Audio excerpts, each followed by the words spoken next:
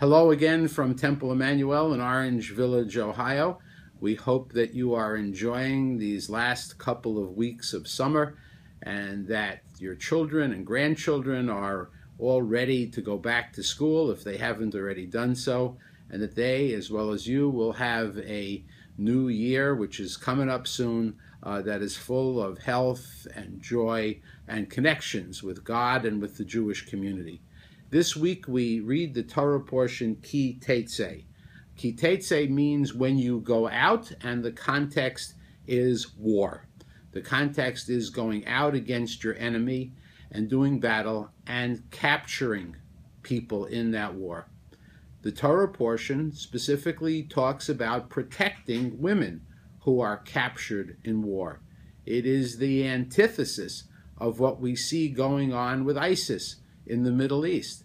Women are not to be taken as slaves, even if they're your enemies and even if they belong to another religion.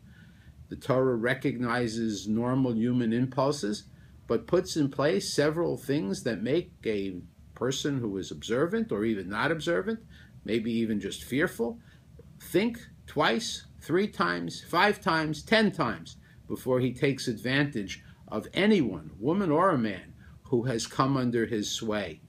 It's an important lesson, not just in times of war, but in our society, and it's an important lesson for any time in which we hold power over anyone else, whether it's a boss and an employee, or whether it's a teacher or a professor or a professor and a student. We know of too many instances in our society where one person takes advantage of someone else who is younger, weaker, less politically powerful than they are. But the Torah goes and talks about other situations as well. It talks about situations of children from multiple wives and insists that those children be treated fairly according to the law. It also talks about the Ben Sorer and Moreh. The Ben Sorer and Moreh, or Moreh is a child who is incorrigible, who cannot be controlled by his or her parents. It's a weird procedure that the rabbis of the Talmud tell us was never actually done and will never actually be done because it requires the parents to go out in public, condemn their child who is then executed. The rabbis limit this category, as they do with many untasteful things, to a category where really the parents have only a couple of days in the life of a child to do this. But it does talk about what you do in extremis. And so many of the laws that we have are the laws of what you do when you're under extreme circumstances. The positive way to look at this, however, is to say that when we are in crisis, our Jewish tradition and our halacha helps support us by sort of holding us in and helping us to say, okay, I'm beyond thinking straight about what's going on. And so I call upon the tradition, I call upon rabbis, cantors, teachers to help me understand how I get through this particular crisis. We see this in everyday Jewish life. People become very concerned about traditions when they've had a death in the family or a loss, even though in most of their lives tradition really doesn't play much of a role.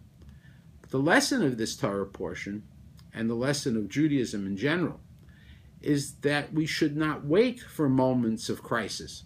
We should not wait for moments when a child has gone astray, or when a marriage is failing, or even for moments of war to decide that we are going to fall back on tradition. In a panel discussion a couple of years ago on medical ethics, I was privileged to participate in a discussion where people were talking about the passage of the Talmud that deals with what happens if you have two guys who are lost in the desert and only enough water for one of them to, to survive.